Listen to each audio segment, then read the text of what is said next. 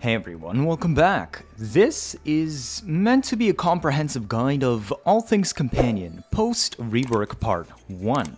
Do keep in mind things may change in part 2. Note that Kubrows, Kavats, Vulpaphylas, and Predasites are not included here today. Those, time permitting, will be saved for a future video. Also, hyper-specific setups that require a particular frame and also a particular companion are not included. These are just for general companion setups on any frame.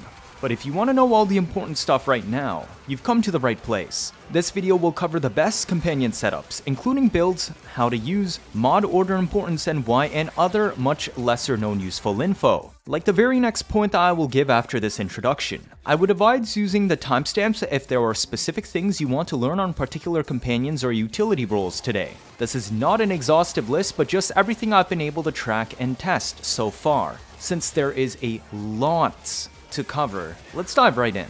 Sentinel weapon builds will be shown at the start before the companion showcase, whereas Hound weapons will be shown on the relevant Hound build, since Hound weapons are not universal. First one, Companions that use Sentinel weapons, meaning MOAs and Sentinels, benefit from galvanized mods. This does not include Hounds because Hounds use melee weapons which do not have galvanized mods. There's one other caveat, the weapon type must match the galvanized mods your warframe is using. If I'm using a rifle sentinel weapon, such as Verglas, then I can only stack rifle galvanized mods if I'm using a rifle myself, such as Amprex, Dread Incarnon, etc. Sentinels are not allowed to stack galvanized mods themselves off kills, so you will always have to stack it for them. If you use a shotgun, this means you will not be able to stack galvanized mods for Verglas, since Verglas is a rifle, and vice versa if you're using a rifle but your sentinel is using a shotgun. This is mainly just important for Verglas DPS shenanigans, but this also means that yes, your Sentinel benefits from Gun CO, and not just Galvanized Multishot. This means every DPS Verglas I use today looks like this, but also means I will be using a rifle with them myself,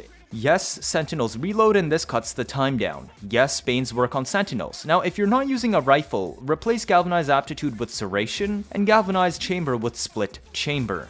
Helstrum is our main primer sentinel weapon of choice when you don't want to bring a Verglas to DPS. This is usually used to spread gas and electric to maximize synth deconstruct procs for more health orbs. Fire rate is extremely important, at just base 0.25 hence we double slotted it. The last slot is flex and can be galvanized multi-shot if you're using a rifle to DPS on your warframe, or split chamber if you're not. Terminal velocity is optional, but Prime Firestorm is highly recommended. Vulklok shoots stupidly slow and a single target. The only reason to use it is for Tenacious Bond, reaching 50% critical chance on the weapon to activate the plus 1.2 times final crit damage bonus on your Warframe loadout. Do keep in mind this also works on pseudo exalts. A single crit chance mod is enough, and pile on all 4 vigilante mods for set bonus. Burst Laser is not really mentioned today, but the main reason to bring it is because it is the only pistol companion weapon in the entire game. This means it can carry auger mods for you for shield gate builds if you're using a DPS pistol setup that cannot equip auger mods. One other thing about pet modding, just like everything else in the game, mod order hierarchy matters, from top left to top right then bottom left to bottom right.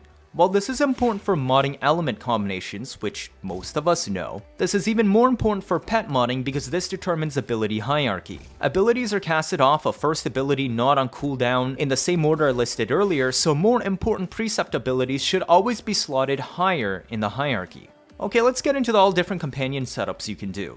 Since we just showcased Verglas building, we're gonna start with the companion DPS plus AoE priming on a Verglas Sentinel or MOA. This is for when all you want your companion to do is kill stuff, but also prime in an area. This can be done with any Sentinel or MOA.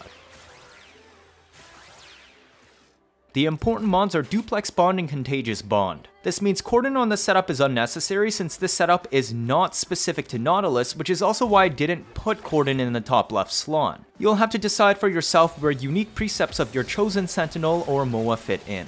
Duplex Bond spawns up to 3 copies of your companion, lasting 30 seconds each. They're invulnerable, do not follow you, and independently aggro enemies. They're also considered completely unmodded on the companion, but carry over the fully modded companion weapon. This means they cannot activate any precepts or mods such as synth deconstructs. Clone kills do have a 50% chance to drop orbs though from the mod. Contagious Spawn also allows your main companion to spread viral procs was using a viral heat Verglas. Do keep in mind that heat procs that carry over from Contagious Spawns do not carry the original damage and scaling of your first target. Contagious Spawn is only useful for spreading viral procs preemptively for free. Accelerated deflection and calculated redirection for better shield gate on your companion. Now, remember to actually bring assault mode so your main companion attacks. Manifold is only here to refresh Guardian Shield Gate, and Synth Deconstruct for more orbs from your main companion.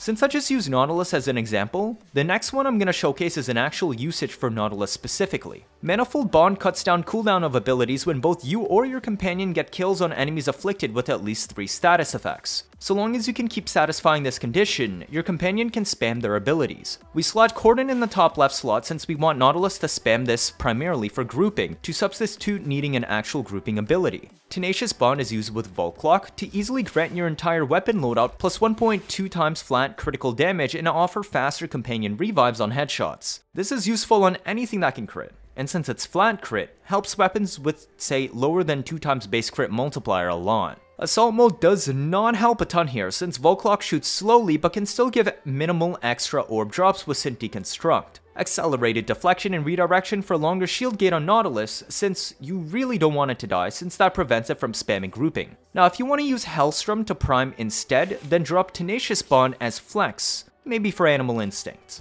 Next is Wyrm, for shield gate reset spam and status immunity. Mod order matters here, because companions cast an order of hierarchy for what's off cooldown. Guardian is what you want to spam since it refills 100% of shields when they break, but has a 30 second cooldown. Shield Charger increases shield max for better shield gate. Tenacious Bond is used with Vulklok to easily grant your entire weapon loadout plus 1.2 times flat critical damage and offer faster companion revives on headshots. We have another flex slot where I chose Momentous Bond for easier companion revives 18 seconds off timer when you kill an Eximus. Do make sure vacuum is maxed and use primed regen.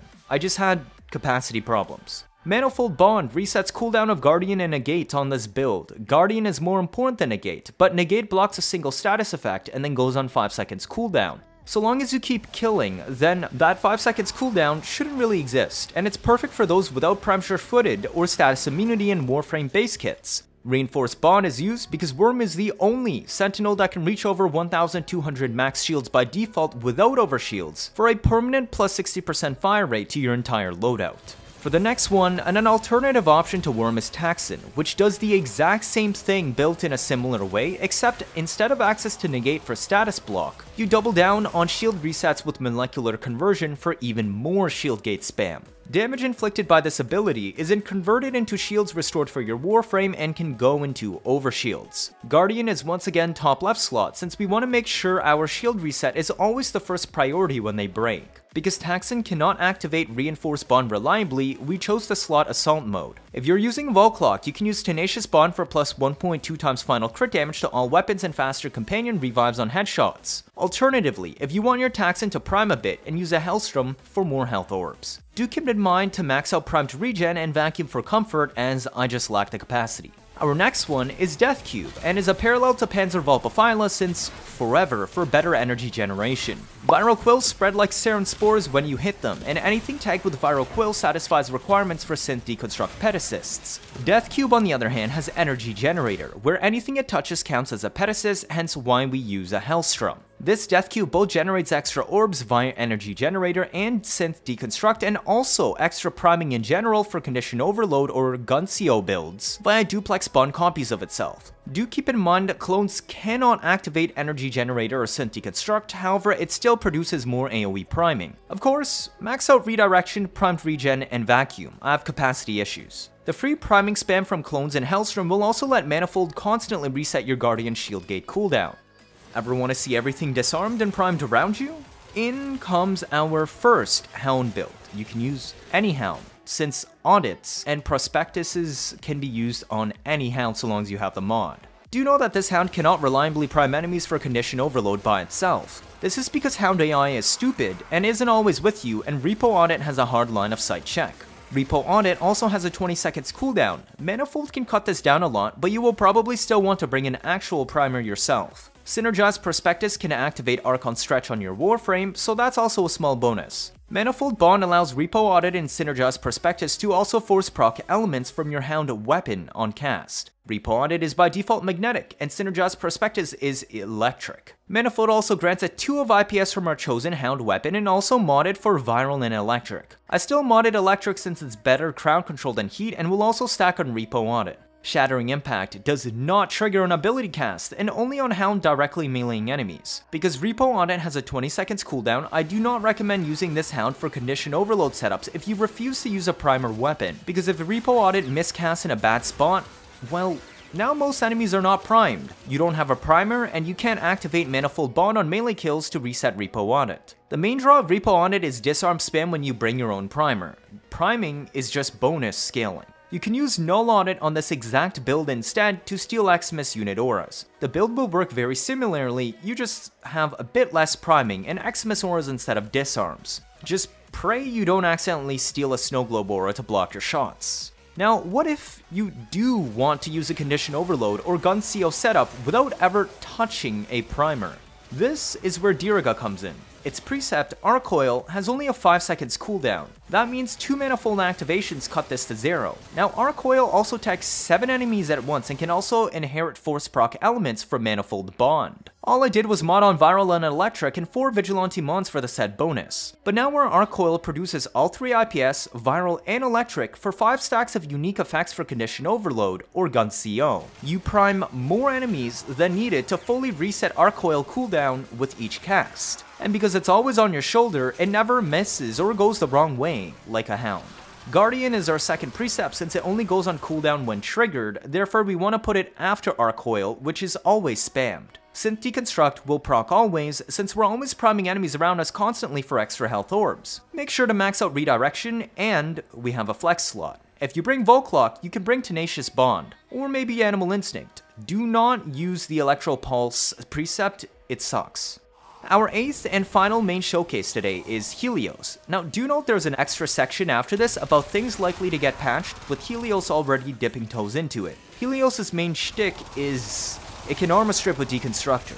Vicious Spawn allows this armor strip to be AoE instead, so long as you tagged those enemies with abilities that deal damage at some point. So AoE ability spam is nice for this. Momentous Bond is our flex slot for faster companion revives based off Eximus kills. Make sure to max out regen, redirection, and vacuum. We still run Manifold plus Guardian as a staple on almost all Sentinel builds for shield gate resets. Make sure to equip Assault mode so your Helios actually attacks, to strip. Now, the Deconstructor build is quite simple. Just attack speed, viral heat for status procs. Shattering Impact is no longer needed due to Vicious Bond stripping percent armor and also letting us do it in an AoE. Quick Return and Whirlwind allow it to hit faster, and as you can see, I don't usually use my deconstructor for DPS.